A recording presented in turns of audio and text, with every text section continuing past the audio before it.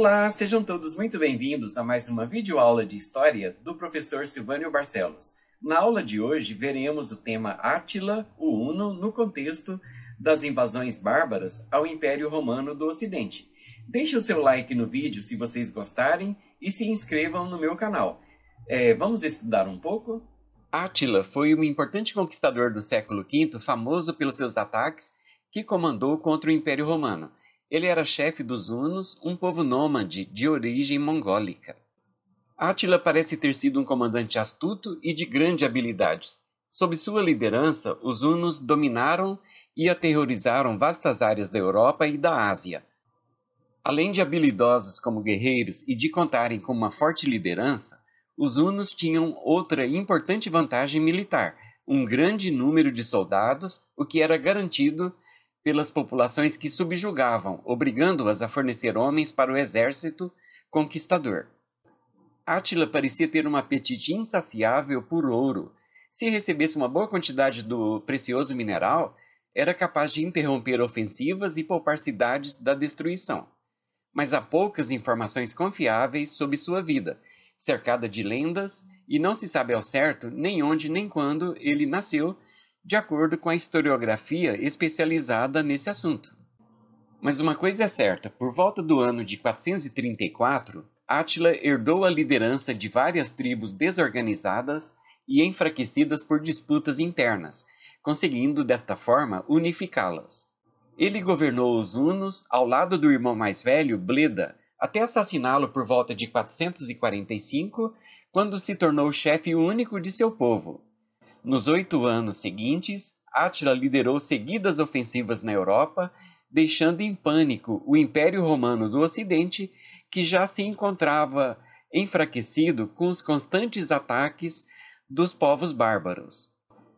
No ano de 453, quando preparava um ataque contra o Império Romano do Oriente, Átila morreu e, ao que tudo indica, morreu de causas naturais, ele teria então, essa, essa é uma estimativa da historiografia, entre 50 e 60 anos.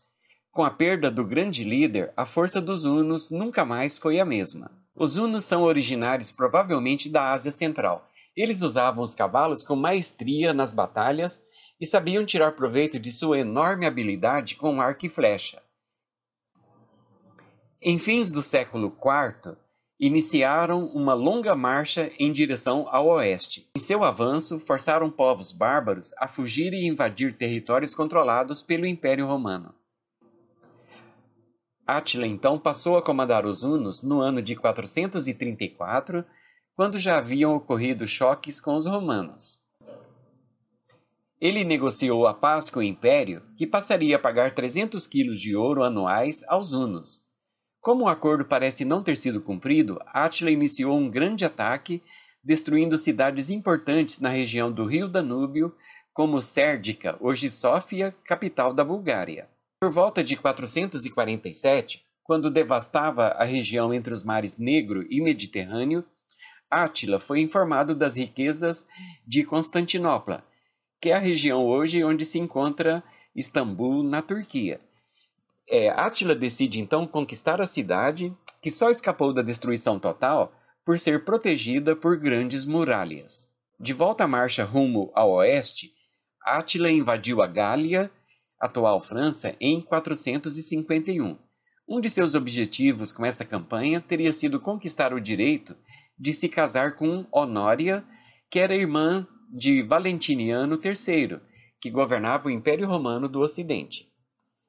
Se o casamento tivesse sido realizado, Átila poderia reivindicar como dote a posse da metade do império. As ambições de Átila, porém, foram frustradas por uma aliança militar entre os romanos e os visigodos, um povo bárbaro de origem germânica. No mesmo ano de 451, os hunos foram derrotados pelos aliados na Batalha de Chalons, na região nordeste da atual França Átila teve que desistir do casamento e se retirou da Gália.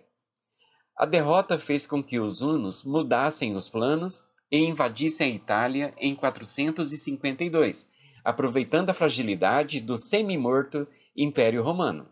Existe um mito historiográfico de que Átila só não saqueou Roma por causa de um pedido do Papa Leão I.